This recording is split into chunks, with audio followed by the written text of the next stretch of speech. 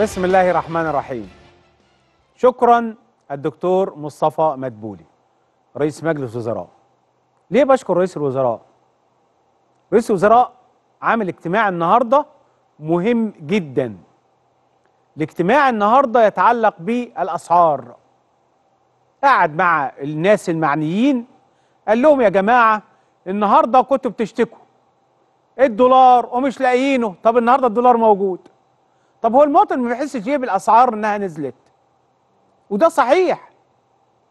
يعني المفترض على مدار العشر أيام اللي فاتوا دول الناس تحس إن هناك نزول في الأسعار. في ممكن بعض السلع بدأت تنزل ولكن مش كل السلع. أو مش ده النزول اللي إحنا كنا منتظرينه. فتحدث رئيس الوزراء اليوم في هذا الاجتماع بلسان المواطن بلسان حضرتك. وبالمناسبة رئيس الوزراء طلب اجتماع استثنائي مع الغرف عشان يعملوا إجراءات والأسعار تنخفض بقدر انخفاض سعر الدولار. تاني قال لهم كده يتعمل اجتماع استثنائي عاجل عشان نجد الأسعار نزلت ما ينفعش ابدا النهارده ان الأسعار زي ما هي وبالعكس في بعض السلع بتزيد. طب أنت منتج مدخلات الإنتاج ما خلاص أقل بقت التكاليف النهارده تكاليف ال- المنتج بقت أقل من الأول. الأول كنت بتجري وبتلحقوا وتروحوا مجلس وزراء بقى تقعدوا في مجلس وزراء وتقولوا مش لاقيين دولار. طب النهارده الدولار موجود عندك. إيه مشكلتك النهارده؟ إنه السلع بقت غ... بقت ما زالت مرتفعة. وأرجو دولة رئيس وزراء مرة أخرى لابد من إجراءات بمعنى الكلمة. لأنه في ناس والله يحبوا يكسبوا ويكسبوا مليارات. مش مهم الشعب لا الشعب مهم جدا ومسؤولية الحكومة ورئيس الوزراء إنه مواجهة المنتجين والصناع والغرف التجارية كلها. بيزعلوا مني طبعا. بيزعلوا لما أنا أتكلم كده. بس أنا بتكلم حق ربنا. لما كنتوا بتقولوا مش لاقيين كنا واقفين معاكم. لكن النهارده الدولار بقى موجود مش هقف معاك. ولازم أقول لك أنتوا مسؤولين عن الجشع اللي موجود وحالة عدم نزول الأسعار. في ناس منكم مسؤولة عن ده. وده دور الحكومة. جاء دور الحكومة النهارده. ولازم الحكومة تبدأ أقولها بشكل علني على الهوا. العين الحمراء. لازم العين الحمراء.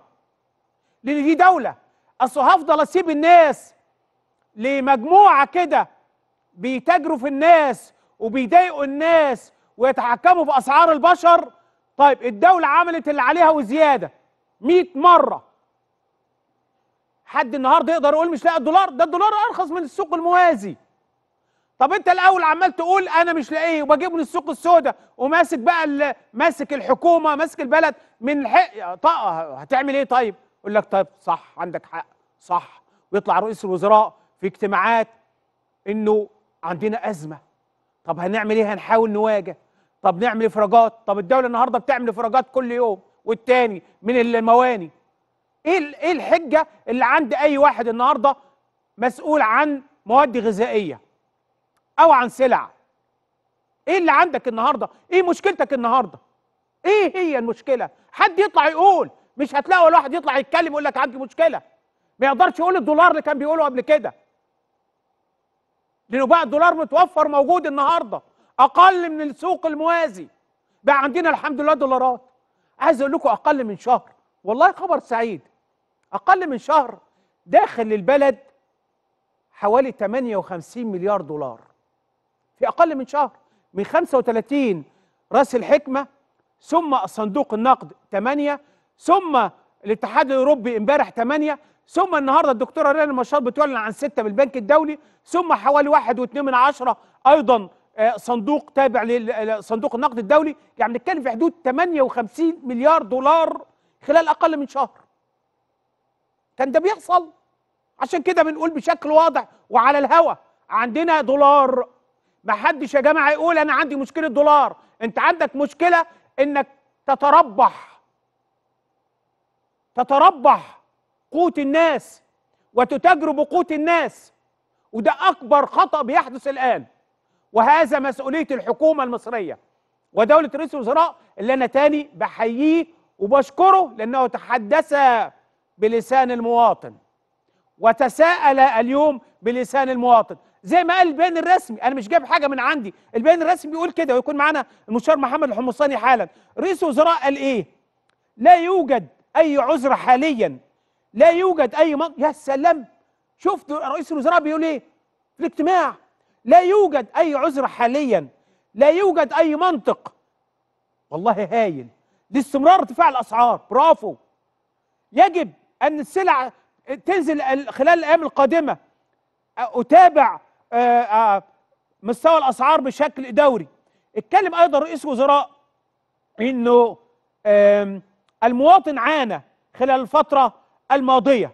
واليوم يجب أن يسمع أخبار مبشرة. والله شكرا جزيلا. وإيجابية هو ده الكلام من التجار. وأن يكون هناك انخفاض سريع في الأسعار. طالب وزير التموين بسرعة عقد اجتماع مع المصنعين بشأن خفض الأسعار نظرا لانخفاض تكلفة الإنتاج. ده كلام رئيس الوزراء النهارده في الاجتماع ده. طب رئيس الوزراء بيقول كده بيدور في كل بيت مصر الكلام اللي قاله رئيس الوزراء النهارده. هو بالظبط كده. إيه مشكلتكم؟ مصنعين. دولار الحمد لله. عندكم إيه؟ مفيش فعلا أي عذر إنه الاسعار تبقى مرتفعة يا جماعة. ولا منطق. رئيس ولا منطق. أنا ما أعرفش حصل إيه تاني ولكن يبدو إنه كمان أكتر من كده. اتقال. طب هل ده معقول؟ مستشار محمد الحمصاني اولا مساء الخير. مساء النور يا فندم. ماذا عن هذا الاجتماع المهم؟ ومرة تانية بحيي دولة رئيس الوزراء النهارده لأنه تحدث بلسان المواطن بمعنى الكلمة إن مفيش منطق إن الاسعار تفضل مرتفعة. في الحقيقة يا فندم بالفعل يعني دولة رئيس الوزراء أه، في إطار ما أكدنا عليه مرارا من متابعته بصورة شبه يومية لمستوى أسعار السلع الأساسية في الأسواق. اجتماع اليوم جاء آه، بناء على متابعة الأسواق وما نشهده من استمرار عدم إتاحة بعض السلع أو ارتفاع أسعارها بصورة آه، يعني غير مقبولة على ضوء انخفاض سعر الصرف الدولار مؤخرا وجهود توحيد سعر الصرف. وبالتالي كان لابد إننا نتابع آه، مستوى أسعار السلع الأساسية. وبناء عليه كما يعني أشار دولة رئيس الوزراء اليوم لابد إن المواطن يشعر بقدر من التحسن. هناك بالفعل انخفاض في بعض أسعار السلع ولكنه بطبيعة الحال لا يرقى لمستوى الانخفاض المأمول خاصة أنه الدولة ليس فقط تعمل على الإفراج عن السلع الغذائية من الجمارك ولكن أيضا بتعمل على الإفراج عن مستلزمات الإنتاج. وبالتالي يعني يفترض أننا نشهد مزيد من توافر السلع في الأسواق ومزيد من الانخفاض. هناك بعض الانخفاضات ولكنها ما زالت ليست كافية في أسعار السلع ونأمل أو نسعى للمزيد من الانخفاض أخذا لأنه يعني بطبيعة الحال دولة تكاليف الإنتاج نزلت وأقلت بقت منخفضة. بالظبط ودولة رئيس الوزراء اللي كانت قبل كده الست مشار محمد اللي يقولوا عليها وسيادتك بتحضر الاجتماعات الفترة الماضية ان الدولار بنجيبه من السوق السوداء. بقى النهارده الدولار عندك في البنك أرخص أقل من السوق السوداء. بالظبط يا فندم لأنه آه، دي نقطة أساسية يعني آه، لا يوجد خلاف عليها إنه آه، كان الكثير من المنتجين إن لم يكن جميعهم. جميعهم يعني جميعهم إن لم يكن جميعهم كانوا بيعتمدوا على سعر تسعير بناء على سعر الدولار في السوق الموازية والآن الوضع اختلف تماما وبالتالي يعني لا توجد حجة لي الاستمرار في الأسعار المرتفعة وبالتالي كان لابد من آه، عمل مراجعة دقيقة اليوم ووقفة مع الارتفاعات في الأسعار والتشديد على أهمية خفض الأسعار وضرورة أنه الغرف التجارية اتحاد العام للغرف التجارية يجتمع من أجل بحث الأسعار والعمل والإعلان عن تخفيضات مقبلة في أسعار السلع خلال الأيام المقبلة. طيب ده ممكن يتم إزاي؟ إيه اللي هيتم؟ وتوجيه رئيس الوزراء بضرورة عقد اجتماع استثنائي آه عاجل. آه، دولة رئيس الوزراء طلب عقد اجتماع عاجل آه، مع مسؤول اتحاد الغرف التجارية وكذلك طالب معالي السيد وزير التجارة والصناعة الذي كان يعني حاضرا اجتماع اليوم بسرعة عقد اجتماع مع المصنعين لخفض الأسعار نظرا لانخفاض تكلفة الإنتاج. وبالتالي آه، يعني خلال الأيام المقبلة إن شاء الله سنشهد آه، يعني عقد آه، اجتماعات على مستوى الغرف التجارية ومع المصنعين وسيتم عرض خطة متكاملة على دولة رئيس الوزراء بشأن خفض الأسعار من قبل اتحاد الغرف التجارية ومن قبل معالي السيد وزير التجارة والصناعة. سيتم عقد سيتم الإعلان عن تخفيضات مقبلة وعرض خطة لخفض الأسعار وإتاحة المزيد منها في الأسواق إن شاء الله. أصل طول يا سياده المستشار طول ما الأسعار مرتفعة التضخم معدلاته هتفضل مرتفعة وبالتالي مصلحتنا ومصلحة البلد ومصلحة الدنيا كلها انخفاض الأسعار وبالتالي اثر بشكل إيجابي على التضخم. بالطبع يا فندم يعني المشكلة دي ليها جانبين. جانب مرتبط بالأعباء الملقاة على المواطنين من ناحية ومن ناحية أخرى تأثيراته السلبية نعم. على المستوى العام للتضخم. الأسعار الأ- السلع الأساسية ليها دور أساسي في تحديد مستوى التضخم وبالتالي هذا الأمر أكدت عليه معالي وزيرة التخطيط اليوم إنه استمرار ارتفاعات غير المبررة في الأسعار ستؤدي لاستمرار التضخم وبالتالي استمرار التضخم سيؤدي إلى استمرار ارتفاع سعر الفايدة من قبل البنك المركزي لاحتواء التضخم وبالتالي من مصلحة الجميع دون شك. هو العمل على خفض التضخم حتى يتسنى خفض أسعار الفايدة وبالتالي المنتج نفسه اللي بي اللي بيستلف من البنك سيستفيد في حالة خفض أسعار الفايدة وبالتالي يعني هي مصلحة مشتركة للجميع سواء مواطن أو حكومة أو منتج ومصنع على العمل على خفض أسعار وخفض التضخم فلذلك يعني الأمر ليس فقط مرتبط بأسعار السلع والأعباء الملقاة على المواطن ولكن أيضا مصلحة الاقتصاد ككل ومصلحة المجتمع ككل في آه، احتواء الارتفاعات الحالية في الأسعار وخفض التضخم. هل اللي تم عرضه النهارده من انخفاض بعض السلع وإيه هي السلع اللي انخفض آه ال- الأنواع اللي انخفضت إذا كان هناك بيان واضح؟ وهل رئيس الوزراء في آه، لما تم طرح هذا الأمر كان ليه ردود؟ يعني في الحقيقة فعلا آه، مع آه، السيد ال- آه، رئيس الاتحاد العام للغرف التجارية أحمد الوكيل. الأستاذ أحمد الوكيل أشار إلى أنه أسعار آه، بعض السلع الأساسية الجملة وخاصة اللي فيها مكون دولاري شهدت انخفاض يعني إحنا بنتكلم مثلا على هو أشار إلى الزيت والمكرونة والفول والعدس شهدت انخفاضات في آه، أسعار لدى آه، منتجي أو المور- المنتجين أو الموردين من ال- بس الزيت ما, ما. نزلش بالعكس الزيت زاد. الزيت يعني لدى لدى إذا كان قال كده يبقى الكلام مش دقيق.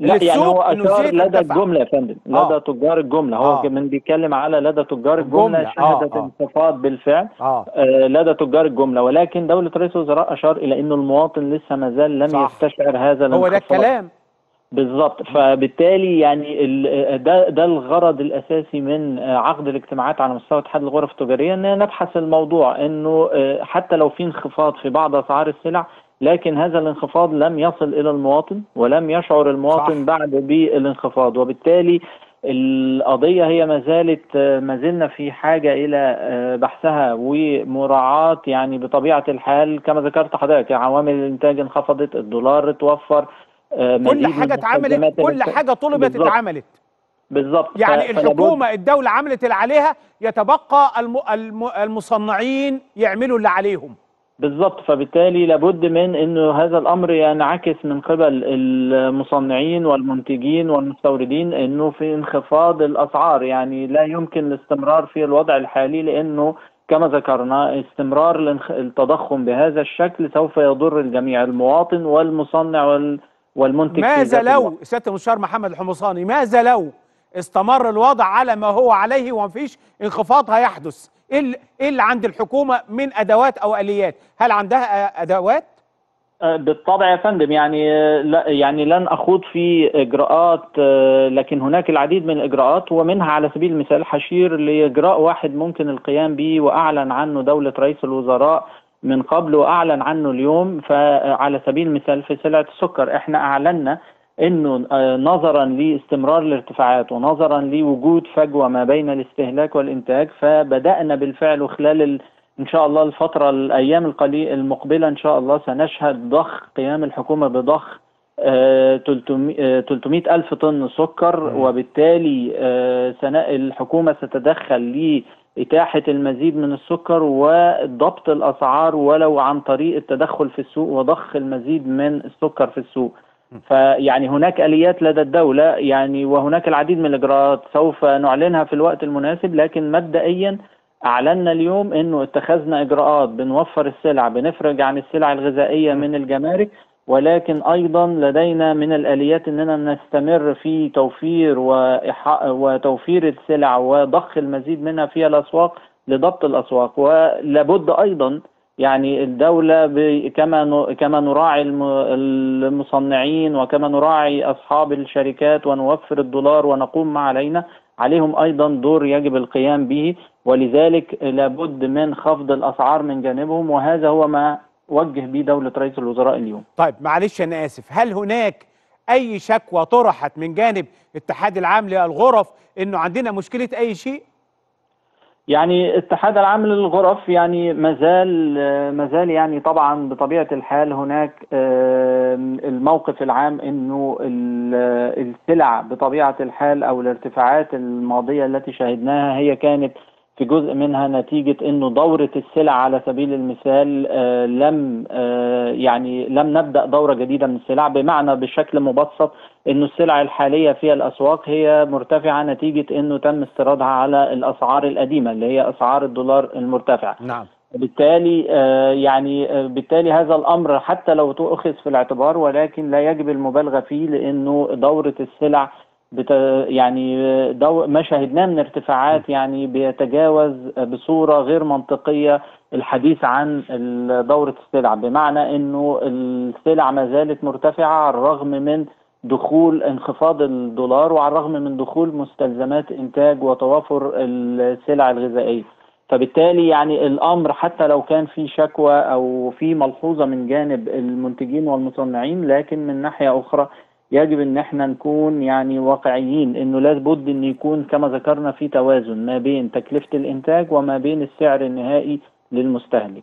يعني لابد إن يكون في توازن في السوق وليس خلينا نقول وليس ترك الأمر لارتفاعات غير مبررة آه في أسعار السلع. هل دولة رئيس الوزراء مدي مهلة محددة خلال مثلا يوم اتنين أسبوع عشرة عشان نجد إنه المواطن يحس أو يشعر بال... بالانخفاض الأسعار بشكل حقيقي؟ آه، دولة رئيس الوزراء أوضح بسرعة ضرورة عقد الاجتماعات على مستوى الغرف التجارية ومع آم، وعقد اجتماع مع المصنعين من قبل معالي السيد وزير التجارة والصناعة. وبالتالي إن شاء الله يعني على خلينا حضرتك نقول إن شاء الله على الأسبوع المقبل سيتم إعلان إن لم يكن قبل ذلك لكن على الأسبوع المقبل إن شاء الله بالكثير سنشهد إعلان عن خفض أسعار السلع إن شاء الله. بشكرك شكرا جزيلا مستشار محمد الحمصاني المتحدث الرسمي باسم مجلس الوزراء. النهارده الدكتوره رانيا المشاط. كمان قالت لنا خبر سعيد إنه البنك الدولي يعلن حزمه تمويلات جديدة. للاقتصاد المصري ب 6 مليارات دولار. هكذا أعلن الدكتوره رانيا المشاط وزيرة التعاون الدولي. مصر لدى مجموعة البنك الدولي واكد ان ده طبعا آه، لدعم جهود إجراءات مصر للاصلاح الاقتصادي التي تقوم بها الدولة المصرية. وقالت إنه آه، آه، سيتم توفير من دولار تمويلات خلال الثلاث سنوات اللي جاية بوقع 3 مليارات لبرنامج الذي تنفذه الحكومة المصرية و3 مليارات دولار تمكين أيضا القطاع آه، الخاص. بالتالي ربما هذا الأمر أيضا زي ما قلت لحضراتكم من شوية بيدفع إلى ان مصر النهارده بيكون عندها طبعا الخطة بتاعتها تتجاوز وهي تصل لحوالي 58 مليار. بلومبرج بتقول إنه مساعدات البنك الدولي ترفع خطة الإنقاذ العالمية لمصر إلى أكثر من 50 مليار دولار وأنه الدولي اتكلم النهاردة على أنه سيقدم لمصر آه، أكثر من 6 مليارات آه، دولار وده بيعزز خطة الإنقاذ العالمي لاقتصاد مصر متعثر إلى أكثر من 50 مليار آه، دولار دولار خلال الأسابيع القليلة الماضية. وأن البنك أكد أن نوع التمويل الذي يغطي السنوات الثلاث المقبلة يستهدف الدعم الحكومي بينما يستهدف الجزء المتبقي من التمويل دعم القطاع الخاص الذي أكد آه، آه، المسؤولون المصريون أنه مفتاح النمو الاقتصادي المستدام على المدى المتوسط. يبقى اذا البنك الدولي بيعلن والدكتوره رنا نشاط النهارده أعلنت وبالتالي تجاوزنا الأرقام اللي هي يعني كانت آه، زي ما بقول كده ما حدش كان يتوقع إحنا نوصل في هذه الأرقام إلى آه، حوالي 58 مليار دولار. مصر تحصد هذا الرقم خلال أقل من شهر منذ توقيع آه، شراكة آه، صفقة رأس الحكمة مع أشقائنا في دولة الإمارات العربية المتحدة. بكرة عندنا احتفالية أو اتنين. هم اتنين. الأولى العاشر من رمضان وبطبيعة الحال عشر رمضان يوم بالنسبة لنا يوم عظيم. انتصارات أكتوبر العاشر من رمضان عام 73 اليوم الثاني المهم جدا. 19 مارس 89 مصر تسترد طابة. بكرة بنتكلم على 35 سنة على استرداد طابة. النهاردة تشرفت بلقاء الدكتور مفيد شهاب. دكتور مفيد عالم من علماء مصر واحد من أهم أساتذة القانون في يعني من مشهود لهم بال بكل شيء وتقدير واحترام و بشكره. اولا التقيت النهارده الدكتور مفيد شهاب لأنه الدكتور مفيد شهاب لا يحتاج إلى تعريف كثير ولكن كان أحد أعضاء ال- اللجنة الوط... القومية المصرية لاسترداد طابة. تم تشكيل لجنة تضم 24 فارس. تاني بقول فارس. 24 بطل. تاني بقول بطل. 24 بطل. مصري شاركوا في ملحمة مصرية عظيمة. رجعت لنا طابة. رجعت طابة. حوار هيكون حوار بعد بكرة يوم الأربعاء إن شاء الله. عشان بكرة يكون عندنا الاحتفالية وسيادة الرئيس بكرة. يكون يعني شرف الاحتفالية غدا التي تقيمها القوات المسلحة غدا بإذن الله تعالى. وهيكون الحوار إن شاء الله يوم الأربع الساعة 10 بإذن الله. حوار مطول يحكي فيه الدكتور مفيد شهاب الكثير من التفاصيل اللي بقول لحضراتكم يمكن على مدار 35 سنة ما سمعتوهاش. وكنت حريص جدا إن ألتقي الدكتور مفيد شهاب عشان يكلمنا على طابة وكواليس طابة. ما الذي جرى؟ و... وعايز أقول لحضراتكم عندما تريد الدولة المصرية مصر لديها القوة القدرة الرجال لديها الخبرات والكفاءات في كل مجال. اتكلم على الدبلوماسية لدينا العسكرية لدينا أجهزة المعلومات والأمن القومي المصري لدينا أساتذة القانون والتاريخ والجغرافيا لدينا. المساحة العسكرية وغيرها لدينا.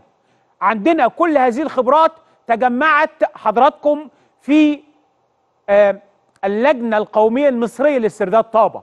24 بطل أو 24 فارس لازم يعني نترحم عن, من توفاهم الله وندعو ب يعني طولة العمر لكل من موجودين لدينا على قيد الحياة ربنا يديهم الصحة. ومنهم الدكتور مفيد شهاب اللي أنا اتشرفت النهاردة. خبرة كبيرة جدا قانونية عظيمة جدا. هيشرح لحضراتكم ما جرى. إحنا رحنا ليه؟ ولماذا أصر الرئيس مبارك رحمه الله على الذهاب إلى التحكيم؟ هيحكي لحضراتكم الحكاية دي بالضبط. بالمناسبة الرئيس مبارك حكاها لي أنا شخصيا. لي أنا شخصيا؟ ولكن دكتور مفيد شهاب بيحكيها لأنه عضو في اللجنة وبيقول الكلام اللي هو موثق في الوثائق الرسمية. وكمان دكتور مفيد شهاب هيقول لحضراتكم هي إسرائيل كانت عايزة مننا إيه بالظبط؟ وهل كان ممكن معاهدة السلام بيننا وبينهم 79 المعاهدة دي ممكن في وقت من الأوقات يعني يتم تجميد العمل من جانب مصر بهذه المعاهدة؟ هتسمعوا كلام مهم جدا.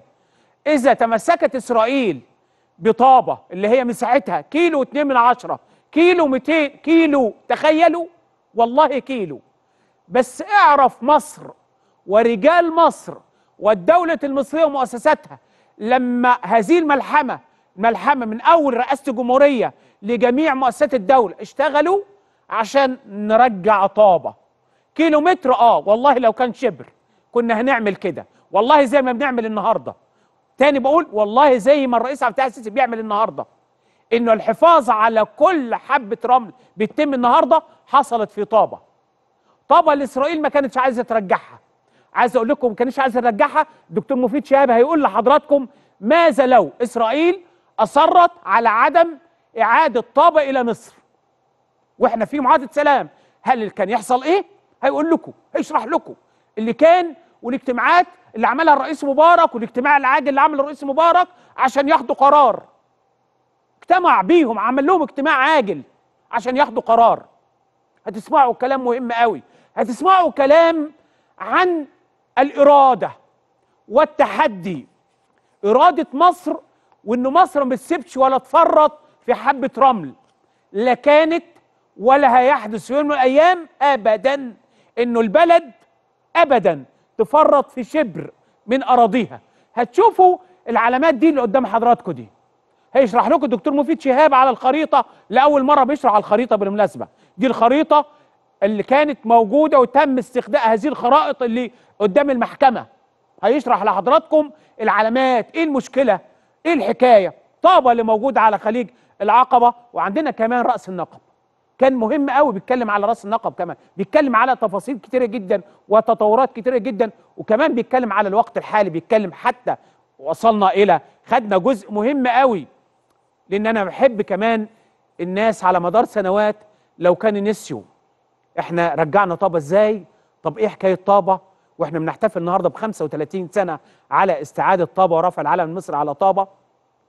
لازم نفتكر كويس قوي اللي حصل ونفتكر كويس قوي إحنا رحنا ليه ونفتكر كويس قوي كل لحظة البلد دي كل حبة رمل غالية علينا. غالية على قادة مصر غالية على جيش مصر غالية على الشعب المصري كله. وبالتالي تجدوا الشعب يتوحد وراء القيادة في الموقف اللي إحنا فيه النهاردة زي ما إحنا موجودين النهاردة في مارس 24 الشعب يتوحد خلف القيادة وخلف الرئيس والقوات المسلحة للدفاع عن كل شبر من أرض مصر. حصل كده في طابة وحصل كده لما خدنا قرار والرئيس السادات خد قرار الحرب. ما هو خد قرار الحرب الرئيس السادات ليه؟ عشان نرجع الأرض. يعني عملنا عمل عسكري حاربنا من أجل نرجع أراضينا ورجعناها. الأول رحنا حرب ثم السلام معاهدة السلام 79 ثم رحنا للتحكيم الدولي عشان نرجع طابة اللي كان الكيلومتر ده إسرائيل مش عايزة تسيبه. آخد الكيلومتر ده وأنا فاضلة هنا. والأمريكان بقى كان ليهم طلبات وحاجات. هتسمعوا حوار مهم جدا مع الدكتور مفيد شهاب. بشكره جدا جدا جدا. سعدت قوي النهارده. تشرفت بدكتور مفيد شهاب اليوم وبهذا الحوار الممتع واللي أنا يعني بعتبره من الحاجات اللي أنا يعني بالنسبة لي مهمه جدا في توقيت مهم جدا بنتكلم فيه عن بلدنا وبنتكلم فيه عن تاريخ للبلد وبنتكلم فيه عن دولة مصرية لا تفرط أبدا أبدا. في أي حبة رمل وعلى مدار تاريخ مصر كده. على مدار تاريخ مصر. الرئيس عبد السيسي من كام يوم قال لنا إحنا حدودنا بقالها آلاف السنين هتفضل حدودنا آلاف السنين. لا حد هيغيرها ولا حد هيقرب لها ولا هنغيرها هنحافظ عليها. استلمناها كده وهنسلمها. هي كده. هي مصر كده. حدودك تفضل كده. محدش يقرب لها ولا حد هيقرب لها بالمناسبة. وما تسمعوا مع الدكتور مفيد شهاب كمان يوم الاربعاء الحوار. هتعرفوا كمان الدنيا كلها مصر إيه؟ مصر لما بتاخد قرار بتعمل معاه إيه؟ وكله بيبقى عامل ألف حساب. لأن عندك تاني بقول عندنا العقول. ولما يبقى عندنا فريق عمل وأقول لكم القضايا القومية دي قضية طابة وحدت كل مصر كل مصر خلف قضية طابة عشان نرجعها زي ما إحنا النهاردة كلنا مع بعض كده عشان ما حد ولا حد هيجرؤ بالمناسبة ولا حد هيجرؤ أبدا. إن شاء الله بفضل ربنا يقرب لنا. الاتحاد الأوروبي امبارح طبعا اللقاء المهم امبارح مع السيد الرئيس عبد الفتاح السيسي طبعا في القاهرة. وأنا يمكن ليا هنا كلمتين بكررهم كل كام يوم للمقيمين على أرض مصر. الضيوف اللي موجودين عندنا. لو سمحتوا حان الوقت إنه أي حد ما عندوش بطاقة إقامة عليه التوجه إلى إدارة الجوازات والهجرة والجنسية. لابد. لأنه ده اولا إحنا بنعمل حاليا الإجراءات الخاصة بالتحول الرقمي وتسهيل تعامل الأجانب المقيمين على أرض مصر مع مؤسسات الدولة المصرية من خلال بطاقة بطاقة. ما حدش يتعامل مع أي حد بعد كده ما هوش بطاقة. البطاقة بطاقة الإقامة فأي حد النهاردة ما عندوش ما وفقش أوضاعه ما عندوش بطاقة إقامة لو سمحتوا توجهوا إلى الجوازات عشان تعملوا الإجراءات عشان يسجلوا البيانات بتاعتكم. وتاخد البطاقة بطاقة الهوية أو بطاقة الإقامة للتعامل مع مؤسسات الدولة. طيب. فرضا فرضا فرضا حد قال لك والله انتهت المهلة وما رحتش عملت بطاقة الإقامة في إدارة الجوازات والهجرة والجنسية. مفيش مصلحة ولا جهة ولا هيئة في مصر هتتعامل معاك. الدولة المصرية ومؤسساتها تتعامل فقط مع حاملي بطاقات الإقامة من الأجانب. دول غير السياحة السياحة ملهاش علاقة. أنا بتكلم على المقيم زي اللي إحنا بنقول لهم ضيوف. التسعة مليون اللي إحنا بنتكلم عليهم. تسعة مليون. هل كلهم عملوا بطاقات إقامة؟ لا. طب في ناس منهم عملت؟ نعم. طب اللي ما عملش بنقول له لو سمحت لازم تعمل بطاقة إقامة. لو ما عملتش لن تحصل على أي خدمات من الدولة المصرية. لن يكون أصلا هناك تعامل معاك ابدا من الدولة المصرية. وبالتالي الدولة بعد كده لها حق تاخد أي إجراء تراه يحافظ على أمنها القومي.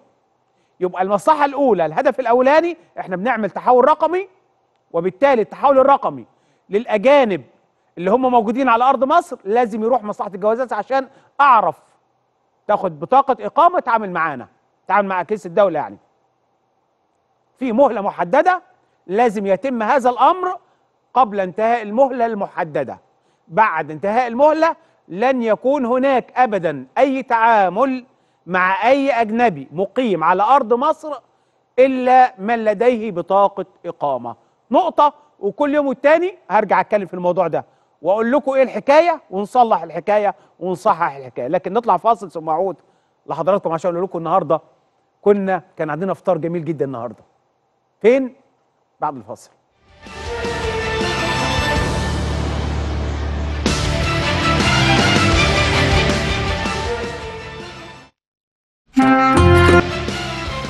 برجع مع حضراتكم مرة تانية أوريكم مكان جميل جدا رائع. كنا النهاردة سيادة النائب محمد أبو العنين عامل حفل إفطار لشبكة قنوات صدى البلد والموقع الإخباري. كنا موجودين فين؟ أوريكم المكان. المكان الجميل ده. المكان الجميل ده كليوباترا مول موجود في 6 أكتوبر على طريق على المحور. زي ما حضراتكم بتشوفوا كده حاجة في منتهى الجمال. مكان يعني آم آم بيتم تجهيزه على أعلى مستوى. من التجهيزات هتلاقوا في هذا المكان إن شاء الله مع التجهيزات وطبعا كل الزملاء والزميلات اللي كانوا آه، شيرين سليمان وفاتن عبد المعبود وكل الزميلات ونهال طايل وكل طبعا الشبكة موجودة وكل الزملاء آه، مصطفى بكري آه، أحمد صبري كل كله موجود النهارده. حاضر طبعا هذه الاحتفالية حفل الافطار موجودين النهارده. مع سيادة نائب محمد ابو اللي إحنا بنحييه وبنشكره كمان. المكان أكتر من رائع، مكان طبعا على المحور مباشرة في الشيخ مدينة الشيخ زايد، جنبنا هنا قريب مننا مكان وليد رمضان. حمد رزق. محمد وديع. آه، معتز. بطاوي. كل بقى. كل الزملاء طبعا فريق العمل كله بنتكلم على الإنتاج بنتكلم على التصوير بنتكلم على الإخراج بنتكلم على الأعداد بنتكلم على الموقع الإخباري بنتكلم على الجميع. يعني كل الزملاء مقدمي البرامج ورؤساء تحرير البرامج كله كان موجود النهارده والإعداد كلهم موجودين النهارده في هذا الحفل حفل الإفطار الرائع في كليوباترا مول. مول ده زي ما بقول لحضراتكم إن شاء الله هيكون يعني في هذا المكان وهذه المنطقة نقلة كبيرة جدا. هيكون زي ما حضراتكم بتشوفوا حاجة مبهرة جدا. مكان آه، يعني رائع آه، تجهيزات على أعلى مستوى. هتلاقوا في المكان ده إن شاء الله الماركات العالمية. حاجات اللي هو البراندات اللي بتحبوها الناس بي... هتلاقوا في المكان ده مثلا في آه، عدد كبير جدا من دور العرض. سينمائي طبعا. يمكن 10 12 شاشة موجودة. في هذا المكان. في طبعا كل احتياجات الأسرة المصرية هتكون موجودة في هذا المكان. آه، مجدي يوسف كمان موجود وصل امبارح من بروكسل. ومجدي طبعا بنقول له الحمد لله على السلامة مرة تانية. كان مجدي معانا في لقاء في آه، وهو موجود في مقر الاتحاد الأوروبي في آه، بروكسل. فيعني بنقول له الحمد لله على السلامة. الحمد لله شفناه ورجع بالسلامة الحمد لله. ما زال لسه بيعاني من كسر آه، أصيب بيه. ولكن شايفين الجمال شايفين المكان زي طبعا محمد هاني آه، هناء السمري الهام أبو الفتح كل ال كل ال ال زي- الجميع كانوا حاضرين هذا الفطار النهارده آه، وكان يوم جميل ويوم رائع. على الأقل شفنا الناس كلها اليوم في هذه الاحتفالية الرائعة. شايفين المكان عايز أوريكم بس حضراتكم بتشوفوا المكان بيتعمل موقع متميز للغاية في مدينة الشيخ زايد على أدي المحور هناك اهو شايفين هناك ده المحور قدامك على طول. يعني المحور قدام آه، كليوباترا مول وطبعا بقول لكم هيكون يعني مكان آه، جاذب للمواطنين وللسياحة كمان آه، بيجدوا فيها كل احتياجاتهم. الأسرة المصرية كل الطبقات هتجد احتياجاتها في هذا المكان إن شاء الله عندما يتم افتتاحه ويتم زي ما بقول لحضراتكم طبعا في منتهى يعني ال ال آه، تقدير كبير جدا وفي فرص عمل كبيرة جدا. بنتكلم على فرص عمل آه، على مدار ثلاث سنوات عمل في هذا ال- المكان الجميل. أيادي آلاف الناس اللي اشتغلوا هنا شركات آه، مصرية اشتغلت في هذا المكان لإنجاز هذا ال- الم- المكان الكبير والمتميز والرائع ويكون يقدم يعني خدمة إضافية وأيضا جذب. إحنا بنتكلم على مصر وسياحة بنتكلم على خدمات تقدم للمواطنين بنتكلم على مصريين بيحبوا يعني مصريين وغير المصريين كمان. ولكن عندنا عادة الشعب المصري عنده طبعا آه، يعني يكون عنده متوفر له كل احتياجاته في كل مكان. وزي ما بقول لكم ده مكان يضاهي آه، مركز تجاري في أي بلد إحنا بنروحها. ده يمكن كمان بيتميز ب بتصميمات رائعة جدا. لو ما تدخلوا المول ده تقعدوا تتجولوا في الداخل طبعا لسه بي بيستمروا في استكماله. ولكن على الأقل الحاجات اللي هي خلصت لحد النهارده بتقدروا تشوفوا نموذج متطور للغاية. ما زال هناك طبعا مطاعم موجودة شغالة طوال طبعا بقى لها عدة شهور وشغالة طبعا آه، في رمضان سواء إفطار أو سحور زي ما حضراتكم بتشوفوا كده شغالة بسم الله ما شاء الله. في طبعا إقبال كبير جدا وفي يعني تواجد كبير جدا من العائلات المصرية على هذا المكان. ولكن إن شاء الله شايفين الجمال والروعة. حاجة بقول لحضراتكم إحنا قاعدين كده رغم النهارده في مطرة والجو برد وغيره ولكن الناس كلها ولا كان في أي يعني زي ما إحنا شايفين كده. طبعا الدنيا كانت النهارده زحمة جدا واقفة في ناس يعني طريق كان صعب ولكن رغم الأجواء الجو كان آه، دفى بعد ما المطرة نزلت. حصل يعني دفء والفطار والناس فطرت الحمد لله. وسيادة النائب محمد عمران كان ليه كلمة كمان كلمة اتكلم فيها طبعا على بيشكر طبعا جهد كل شبكة قنوات صدى البلد والموقع الإخباري وشكر الجميع وقدم لهم كل التحية على طبعا الأداء وكمان تحدث سياده النائب محمد عمران أيضا على آه، القمة المصرية الأوروبية أيضا وكان له كلمة مهمة خلال آه، عزه مصطفى طبعا. وأنا بقول لحضراتكم يعني بحاول بقدر الإمكان إن كل الزملاء اللي كانوا موجودين يعني آه، طالما بنشوفهم. وكان دينا رامز كمان موجودة النهارده شفناها وعدد كبير جدا. كل الزملاء والزميلات كانوا موجودين النهارده ولكن نتابع النائب محمد معين ولكن قبل ما نروح للنائب محمد معين بوريكم المشهد الجميل ده وتشوفوا آه، آه، كليوباترا مول اللي موجود في واحدة من أهم المناطق المتميزة في 6 أكتوبر وتحديدا في مدينة الشيخ زايد على المحور مباشرة. وهذه اللقطة آه، مع سياده النائب محمد معين كل طبعا عزة مصطفى ونهال إلهام والفتح محمد هاني. السيدة هبة طبعا آه، شبانة. كل ال يعني ال ال الزملاء الأفاضل كانوا طبعا آه، موجودين آه، في نهاية آه، حفل الإفطار. آه، طبعا إحنا بعد الإفطار على طول. حضراتكم عارفين إن إحنا بنفطر وبنجري عشان نطلع. نلحق الهوا. يقول لك إيه يا دوب بس إيه لازم طبعا ما كانش ينفع ما نبقاش موجودين ولكن شاركنا وموجودين لحد الساعة 7 وربع 7 ونص كده واتحركنا طبعا عشان نلحق كمان نجهز للبرنامج وده عادة يعني في رمضان آه، بيبقى الوقت سريع جدا وقصير جدا ولكن كمان مهم عشان نطلع في موعدنا. نتابع ماذا قال النائب محمد أمونين في كلمته اليوم أثناء حفل الإفطار هنا. فين؟ هنا في هذا المكان المتميز جدا. كليوباترا مول. نتابع. وأنتم طيبين. ورمضان كريم. وإن شاء الله يتقبل منا ومنكم الصيام والقيام وصالح الأعمال. اسمحوا لي في البداية أرحب بحضراتكم في الموقع المتميز لجروب كليوباترا. هذا الموقع طبعا أنتوا أول مرة تتشرفونا فيه. الموقع ده عبارة عن كليوباترا مول اللي موجود في المحور 26 يوليو 6 أكتوبر. والحقيقة إحنا قصدنا نعمل حفلة النهارده عشان نحتفل بيكم في هذا المكان وفي هذا الزمان. والجمع ال- المتميز من أسرة آه، قنوات سرد البلد وكليوباترا ميديا والموقع الإخباري. اسمحوا لي في البداية أرحب بيكم جميعا وأرحب بالأخ والصديق معالي الوزير السوداني عبد الحميد موسى كاشا. الأخ والصديق ونتمنى إن شاء الله في القريب العاجل أن تعود الأمن والاستقرار إلى السودان الشقيق ويعودوا أهالينا مرة أخرى وتمشي الأمور إلى مجاريها ونشعر بأمننا وامنا من بلدنا الحبيب السودان الشقيق. اسمحوا لي النهارده مرة أخرى أرحب بيكم وأقول لكم كل وأنتم طيبين وأقول لكم آه، في تطور مستمر أنتوا عملتوا السنة دي على مدى كام شهر اللي فات ده تطور رائع. كان ملموس وكان متشاف وكان ملاحظ وكان مقيم من كل اللي آه، يعني مريدين صدى البلد واللي بيتفرجوا على صدى البلد واللي بيتابعوا كل التطور اللي حصل في صدى البلد. الحقيقة الشكل والمضمون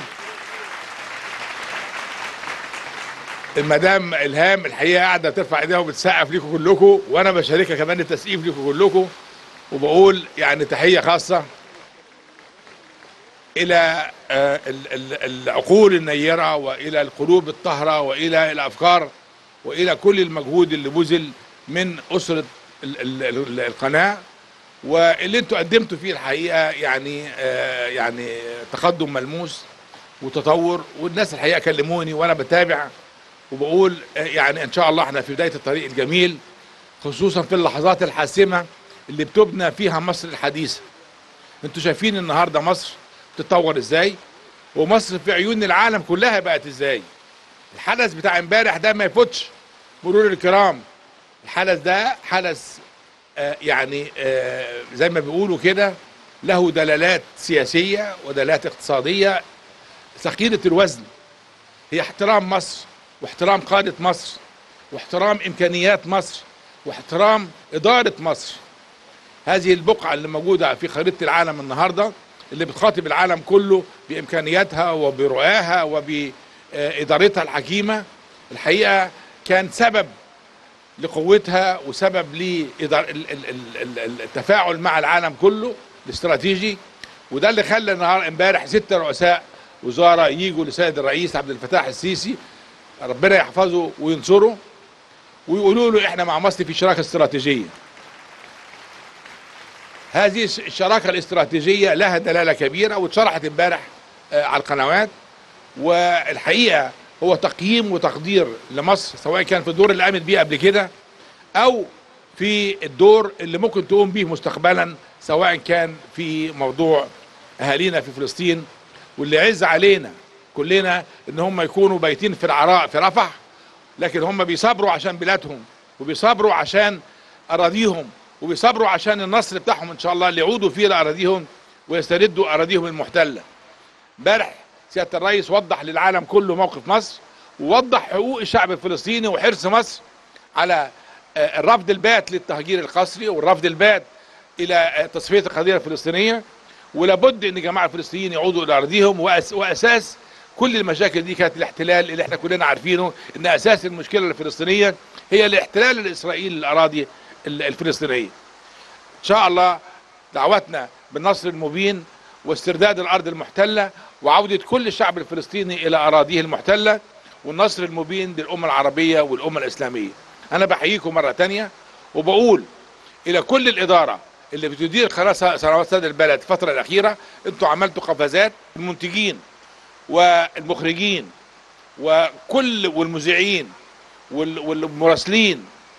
الحقيقة كان في منظومة من العمل الجيد اللي إحنا بنتطلع طبعا إلى مزيد من النجاح ومزيد من التقدم وبحيي كل المجهودات اللي بذلت وأتوقع إن شاء الله السنة الجاية هتكونوا في مرتبة تانية وهتكونوا في مكانة تانية على المستوى العالمي. ان إحنا منطلقين انطلاقة كبيرة عشان مصر تستحق ده.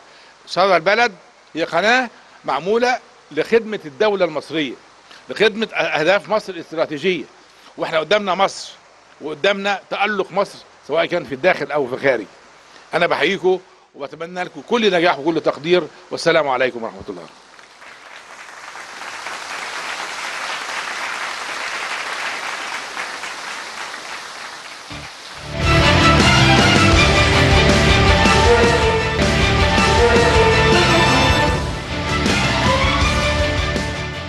شعبة المستثمرين برئاسة النائب محمد أبو العين كانوا عملوا اجتماع حول القمة الأوروبية المصرية الأوروبية التي عقدت بالأمس واستضافة السيد الرئيس عبد الفتاح السيسي لقادة دول الاتحاد الأوروبي رئيس المفوضية والدول ورؤساء الحكومات ومعهم كمان رئيس قبرص. كان هذا الاجتماع اجتماع أيضا آه، دار حول القمة والشراكة المصرية الأوروبية تحدث النائب محمد العين خلال هذا الاجتماع المهم مع كبار المستثمرين ومجلس إدارة آه، شعبة المستثمرين فيما يتعلق بالشراكة بين مصر والاتحاد الأوروبي أهمية هذا التحرك آه، من جانب الاتحاد الأوروبي في هذا التوقيت في اتجاه مصر أهمية الشراكة وما يعود من آه،. آه، من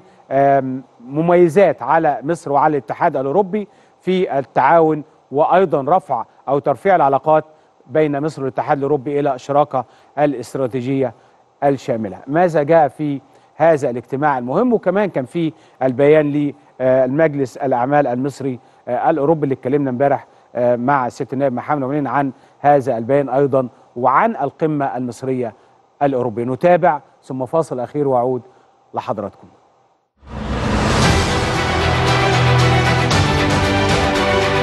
اجتماع هام عقدته الشعبة العامة للمستثمرين برئاسة النائب محمد أبو العنين وكيل مجلس النواب ورئيس مجلس الأعمال المصري الأوروبي. والذي استهله بتقديم جزيل الشكر والتقدير لفخامة الرئيس عبد الفتاح السيسي لكلمته بالقمة المصرية الأوروبية لرفع العلاقات بين مصر والاتحاد الأوروبي إلى مستوى الشراكة الاستراتيجية والشاملة والتي تعكس عمق العلاقات المصرية مع الاتحاد الأوروبي. باسمكم جميعا احيي الرئيس عبد الفتاح السيسي على المؤتمر ده. أو اللقاء اللي حصل ويعني استقبل فيه سيد الرئيس ثلاث وزراء أوروبيين مع رئيسة الاتحاد الأوروبي. ده حدث جلل حدث كبير جدا له دلالات كبيرة جدا. حدث ما جاش من فراغ ولكن جه من وزن مصر وعمل مصر. وقيمة مصر ونشاط مصر المحوري في المنطقة. ده ما جاش والكلمات اللي سمعناها من الرؤساء كلهم أكدوا على دور مصر المحوري في المنطقة. وطبعا كل كل الناس كانوا بيتكلموا على دورها في كذا قطاع فيما يتعلق بقضية غزة ودور مصر فيها والوساطة فيها وقف إطلاق النار والمساعدات اللي راحت من مصر ودور معبر رفح لما بنتمكن إن إحنا ندخل معوناتنا. والحقيقة الثبات القوي آه، اللي وقفها مصر آه، آه، ضد كل المحاولات اللي ممكن تولع المنطقة وتشعل المنطقة كلها. كما أعرب أبو العنين عن إشادة مجلس الأعمال المصري الأوروبي والشعبة العامة للمستثمرين بوثيقة الإعلان السياسي المشترك بين الرئيس السيسي ورئيسة المفوضية الأوروبية والتي تدعم تحقيق المصالح المشتركة بين الجانبين من خلال هذه الشراكة الاستراتيجية الهامة. الاتحاد الأوروبي لما عرض عرض مجموعة كبيرة من المبادرات. المبادرات اللي عرضها الاتحاد الأوروبي مش مبادرات تقليدية. هو جه هيدي حاجات منح ترد وفي نفس الوقت مع المنح في مشروعات. كان من ضمن المقررات اللي اتقالت النهارده إحنا عاوزين بقى نشوف مشروعات. وعاوزين نتكلم على المجالات المختلفة في مجال التعليم. نشوف نعمل إيه؟ لأن إحنا محتاجين الخبرة والتكنولوجي آه، العلمية المتخصصة في المجالات كلها. محتاجين العلماء يجوا يدرسوا لأولادنا. ومحتاجين تكون في شراكات من الجامعات معانا. ومحتاجين نشوف التدريب الفني والمهني والتقني يمشي إزاي. ومحتاجين علوم المستقبل إزاي تدرس في الجامعات المصرية. فالحقيقة التوجه النهارده الأتيتيود اللي حصل لمصر والرئيس مصر والشعب مصر الحقيقة أسلك صدورنا جميعا. كما شهد الاجتماع نقاشا هاما بين الحضور من أعضاء مجلس إدارة الشعبة العامة للمستثمرين الذين رحبوا بدعوة النائب محمد أبو العنين لعقد هذا اللقاء. مؤكدين أنه جاء مناسبا في ظل ما تشهده الدولة المصرية من نجاحات هامة في مجال الاستثمار والشراكات الأجنبية التي لها انعكاسات اقتصادية كبيرة وناجحة لمصر. مفيش شك إن الدور اللي إحنا ممكن نلعبه ممكن يبقى إيجابي جدا. إحنا مش هنخرج تماما من ال ال الوعكة اللي مر بيها الاقتصاد المصري إلا إذا زودنا إنتاجنا ومش هينفع نزود الإنتاج بتاعنا إلا إذا زودنا الاستثمارات. فاحنا محتاجين استثمار عشان يزيد الإنتاج عشان نقدر نصدر كمان الفائض. السياحة هي العنصر يمكن القوي اللي بيجيب آه، عملة صعبة لمصر. إحنا محتاجين 250 ألف غرفة فندقية جديدة على أساس آه، السياحة تقدر تجيب 30 مليار ومفروض تجيب 50 ومفروض تجيب أكتر من كده بكتير. أنا يعني بنبه دلوقتي ما نديش ظهرنا للي إحنا اكتسبناه في الفترة اللي فاتت ونستسهل الاستيراد. لا نكمل اللي إحنا عملناه ونحسن ونطور ونتعامل مع شركات أخرى متقدمة عندنا نجيبها في مصر تعمل استثمارات. المجال الصناعي ما يعني ما ينفعش إن نديله بقى السكتوريال كده ما انت محتاج فرش ومحتاج معدات ومحتاج ومحتاج حاجات كتيرة جدا. كلنا بنخدم بعض وأعتقد إن إحنا يعني مقبلين بإذن الله سبحانه وتعالى على فترة نمو. العامل النفسي مهم جدا في الاستثمار. مجرد ما الناس تسمع إن في حوافز موجودة في حاجات جديدة بتتقدم للصناعة للمستثمر المصري. المستثمر المصري نفسه اللي خرج خارج الحدود المصرية خلال السنة أو السنتين اللي فاتوا وعملوا مكاتب ومشاريع في دول عربية كتيرة جدا قدمت لهم حوافز كتيرة. آه، مهم جدا نستعيدهم مرة تانية لأن دول مهمين جدا لاستعادتهم إحنا بنتكلم بقالنا سنين طويلة جدا على زيادة الصادرات المصرية. إحنا نقدر نصدر شركات مصرية مش منتجات مصرية بس. فأنا شايف إن مكاتب التمثيل التجاري ممكن تساعدنا إن هي تبقى هي ال market leader لينا في السوق الأفريقي بالذات والسوق العربي. أي استثمار أجنبي مباشر هيجي. زي ما حضرتك قلت هيجيب تكنولوجيا هي هي هيخلق فرص عمل هيساعد إن إحنا في مصر نعمل منتج ما كناش بنعمله قبل كده. أول حاجة إن هو يضمن إن هو لما هيخش في ال- المشروعات اللي موجودة في مصر هيضمن إن هو يلاقي الأول سوق داخل مصر. كما أكد أبو العنين على ضرورة الاتجاه إلى التسويق الاستثماري لمصر بطريقة غير تقليدية بما يحقق قيمة مضافة خاصة مع قرب إصدار قانون الاستثمار خلال الدورة البرلمانية الحالية. نقطة مهمة جدا أنا كلمت عليها في مجلس النواب. وللأسف إن جماعة الإعلاميين ما بيتكلموش عنها كتير. هي قضية القيمة المضافة. أرض مصر كنا قاعدين على 6% 6% دول النهارده 12 وطالعين ل 14 وخطة ل 20 اللي حصل في في العشر سنين دول لما تحسب القيمة المضافة لمساحات الأرض 6% دي كانت كام وبقت كام؟ تطلع تريليونز مش راس حكمة بس. القطاعات الإضافية اللي اتضافت على على المناطق دي علت القيمة المضافة بتاعت الأرض القديمة وعملت قيمة مضافة جديدة على الأرض الصحراوية المضافة. وأعرب عن أهمية عقد مؤتمر للاستثمار والصناعة والتصدير. تقوم بتنفيذه الشعبة العامة للمستثمرين لمساندة الدولة ودعمها. بالإضافة لمشاركته الفترة المقبلة بالعديد من المؤتمرات الدولية كممثل للبرلمان المصري ورئيس لمجلس الأعمال المصري الأوروبي. النهارده إحنا بنتكلم على شراكة من نوع جديد. الشراكه استراتيجية. محتاج الفكر يتقدم بقى. محتاجين إحنا نبدأ نبادر بفكرنا إحنا. إحنا عايزين من الش... من دول الشمال إيه؟ في, في شمال المتوسط. إحنا عايزين عايزين منهم إيه؟ وأنا هحضر الحقيقة مؤتمرات الفترة اللي جاية دي. في مؤتمر عندنا آه، في في لشبونة في البرتغال. وفي مؤتمرات تانية أنا هحضرها برضو ممثل على البرلمان المصري. هنتكلم عن الموضوعات دي بالتفصيل. إحنا محتاجين النهارده نسوق مصر بطريقة غير تقليدية.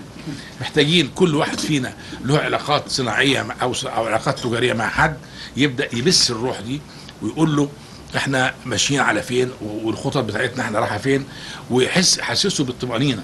لأن على قد ما إحنا بنحاول نقول إن البلد بتنمو والبلد فيها أمان والبلد فيها استثمار وفيها فيها بوتنشال عالي عشان المستثمرين.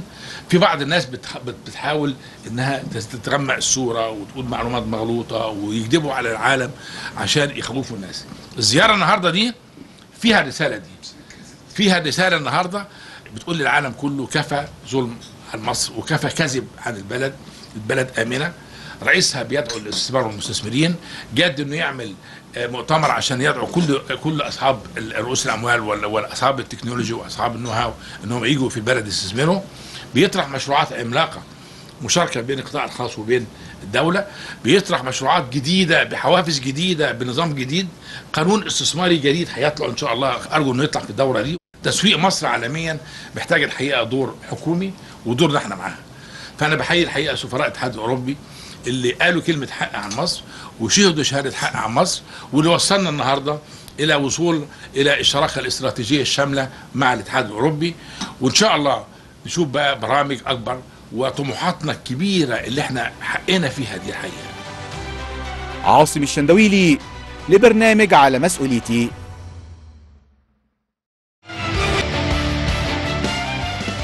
بشكر حضرتك شكرا جزيلا. اشوفكم بكرة إن شاء الله. تصبحوا على الف خير